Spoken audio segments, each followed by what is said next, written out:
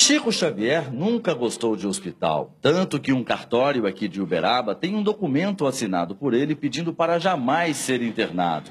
Mas com a saúde cada vez mais debilitada, os médicos entenderam que só um tratamento intensivo poderia salvar a vida do maior espírita do Brasil.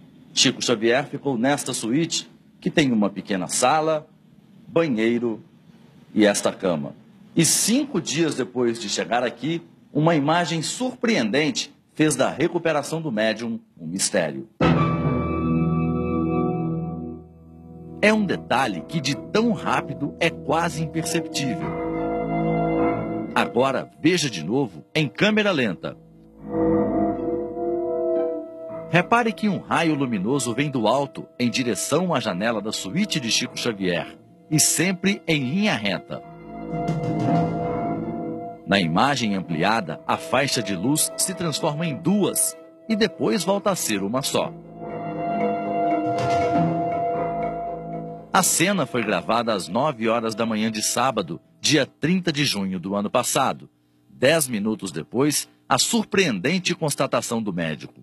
O paciente, que já estava em estado terminal, começou a melhorar. Depois que eu fui comunicado que havia esse fato, eu resolvi olhar a, o seu prontuário para verificar se teria alguma coincidência ou que alguma coisa tinha acontecido naquele momento. E de fato aconteceu, porque daí para frente ele passou a melhorar. O senhor acredita em coincidência? Não, eu acredito que houve uma interferência mesmo. 72 horas antes de morrer, Chico, cercado de amigos e ao lado do filho, estava muito sorridente. Foi a primeira e única vez que o médium falou sobre o assunto. O senhor lembra da luz que entrou no quarto do senhor? Minha mãe. Como que ela chamava? Maria Foi o irmão também? Não demorou.